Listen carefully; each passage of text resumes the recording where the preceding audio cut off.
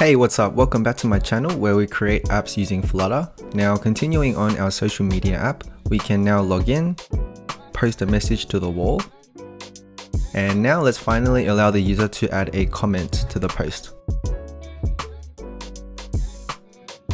So in the last video, we left off with this profile page that we created and we can edit the user details. And now let's focus on adding a comment. So in your components, let's create a new file called comment.dart. And if you think about what we need in a comment, we need to have three things. I need to know the actual text for the comment, the user, and also the time stamp for the comment. So let's just require these. And let's just create a container here. And I'm just gonna make it really basic for now, and we can decorate it a bit later on.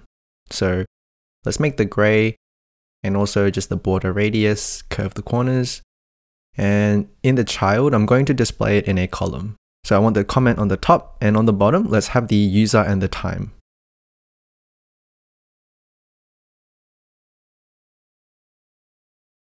Now for the user and the time, I'm going to wrap this in a row just so that I can put them side by side. And the middle text widget, I'm just going to use a little dot to separate it out. Awesome. So now that we've created our comment, let's go to our wall post. And we created this like button earlier. So now let's create a couple more methods. I want to have a adding comment method. And I also want to show a dialog to allow the user to input a comment. So let's just start creating this out. Now when I add a comment, I'm going to need to know the string for the parameter as comment text. And we're going to write the comment to Firestore under the comment collection section. Okay, so we have everything in the user's post and we can get to the document of this current post ID. And in individual posts, we will have a comment collection and let's add a new comment. Now, when I add a comment, I want to add three important details about the comment, which is the text, the user that commented, and also the time. Okay, now when it comes to the timestamp, I'm going to show you this a little bit later on to format it nicely so we can just kind of display a nice date because otherwise it's going to tell us the year, the month, the day, the second, and hour and everything. So I'll show you that a bit later on. Awesome, now we just got to fill out one more method, which is the dialog box. So when the user wants to add a comment, we're going to show a box to accept the user's input. So let's just show a quick dialog here and let's just say add comment. And the most important thing here is a text field so that we can get the user input, which means we're going to need to come up to the top and just create a comment text controller real quick. Cool, and just give it to the text field. And now let's just decorate this just a little bit.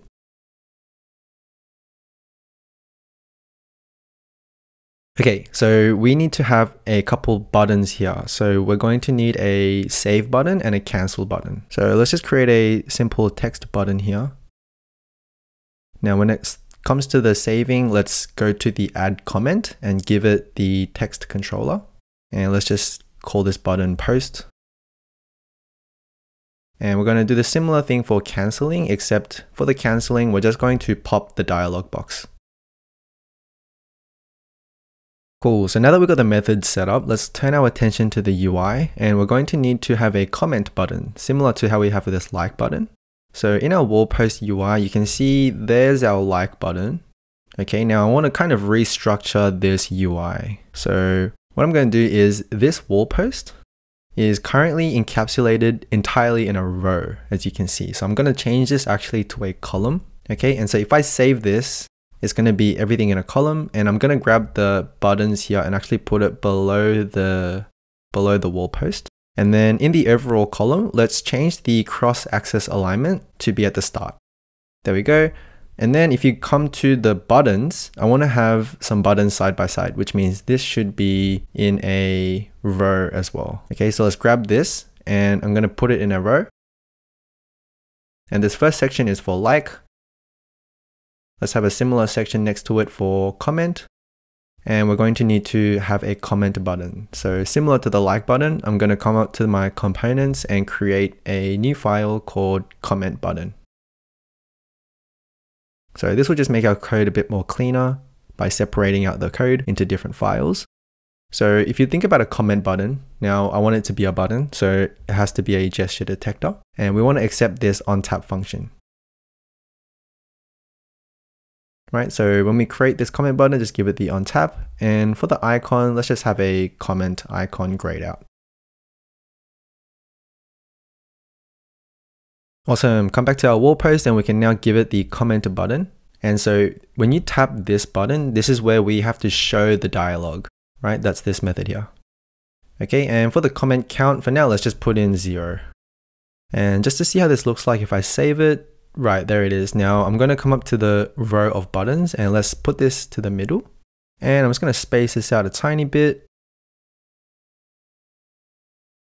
It's looking pretty good. And so if I click on this icon, then you can see this box comes up. And so now I can type stuff in. Okay, looking good. Now, just from the feel of it, I actually think we should swap these two buttons around. Yeah, let's just test this just to make sure these methods are working fine.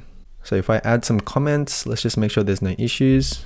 Now, one thing I noticed is the controller needs to be cleared. So every time we open up the box, it actually still has the previous message that we put in the text, text field. So if I hit the cancel button, of course, pop the box, but then let's also control clear the controller. Okay, same thing for the for the button here. Let's add the comment and then let's clear the controller. So if I try this again, you can see there's nothing in there. And let's say we post something and the controller gets cleared, as you can see. But looks like for the comment button, we should also pop it as well. We forgot to do that.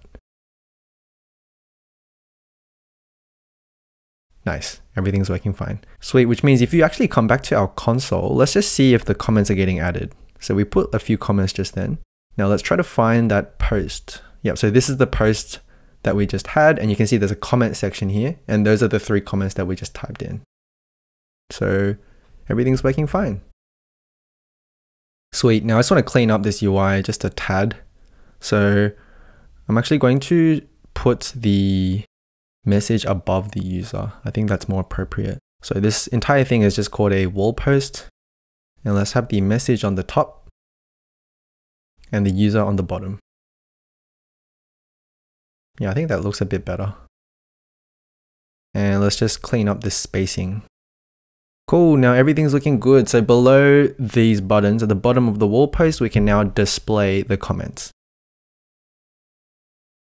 So we're going to use a stream builder, of course.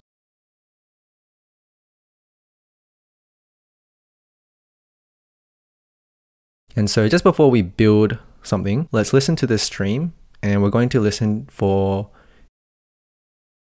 the user posts for this current ID. And we're going to go to the comments and let's just order the time by the newest one showing at the top. Okay, so we're going to say descending is true. Okay, sweet. So now that we have these uh, snapshots, let's first of all show the loading circle if there's no data yet.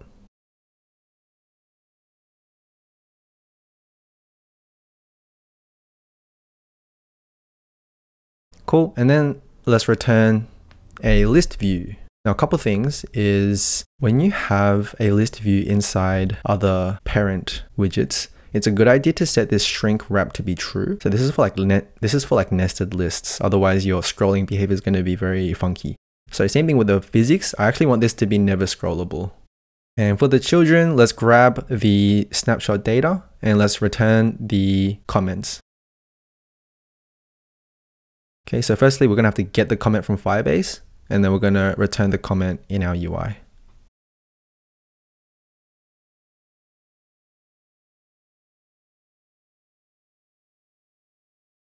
Cool. And you can see there's a bunch of squiggles everywhere because if you come to the end of this bracket, we're going to convert this to a list because this is a list view. So let's just do that first. And now we can fill out the comment. So comment data, let's give it the comment text and then the commented by and then the time. Cool. Now, if you save this, we actually get an error for the timestamp. And I actually mentioned I was going to show you how to solve this earlier because a timestamp is actually not a string. As you can see, that's what it says here. So I'm going to create a helper method in a new folder. And this is just going to be a little, uh, little method to help format the date. So the reason why we're doing this is because the date, like a timestamp, is not a string. So it'll be like, if I get the timestamp of right now, it would be 2013, uh, May and 19th, but then it will, it will also tell you the hour, the minute, the second, millisecond, and so on. So we don't want all that information. I just want to return it as a nice string. Maybe we'll just say the year, month, and day. Okay, but let me show you how to do this. You'll get a better idea. So I'm to say format date, and we're to accept the timestamp. So as I mentioned before, the timestamp is an object we retrieve from Firebase. So to display it, let's convert it to a string. Okay, so like I said, I'm just going to get the year, the month, and the day. You can go ahead and get the hours and seconds and whatever you want. So let's just grab the year, the month as a string, the day as a string. And then finally, I'm going to put all this together combine it in kind of one nice date. Okay, it's separated by slashes. Or I should actually put the day first. And then it's going to recommend me to interpolate this. And then this is what we're going to return. So if I come back to my error here, it says timestamp is not a string. That's what it's saying. So we can now format this and give it our time and it's going to return a nice string. By the way, I want to call this format date not format data.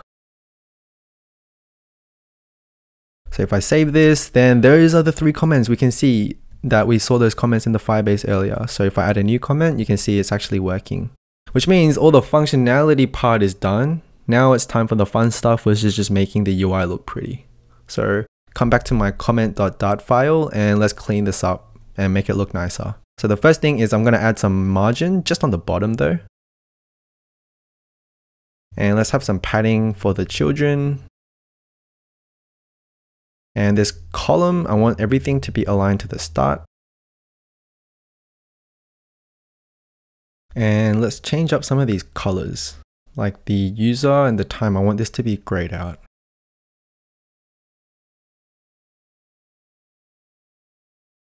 Cool, now if I come back to my wall post, what color is this guy? It is white. So I actually want to make this gray 200.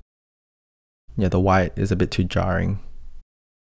And I think we might need some space under the comments, under, under the buttons. Sweet, and that's pretty much it. Now, one last thing is because we actually have the date formatted now, let's actually include it for the wall post as well. So you can see here in the in the wall post for the user, similar to how we did for the comment. I'm just going to copy this and show it in the wall post as well. Let's do the timestamp. And it looks like we didn't even create this parameter. So let's do that right now. Which means if I come to my home page, we need to give it a time. We can get the time of this post from Firebase and put it inside the format date method that we had earlier. And whoops, looks like I misspelled it. It's actually a capital S. Cool, and you can see there's the date. And that's looking pretty good. So that's how you add comments. Now, if you made it this far into the tutorial, great job. And leave me a purple heart in the comment so I know. But we're making some really good progress with our social media app. And so let me know what feature I should add next. And also if you have any questions on understanding the code shown in my tutorial, then just comment below and we'll hang out there. So I hope you learned something. Thanks for watching and I'll catch you guys in the next one. Peace!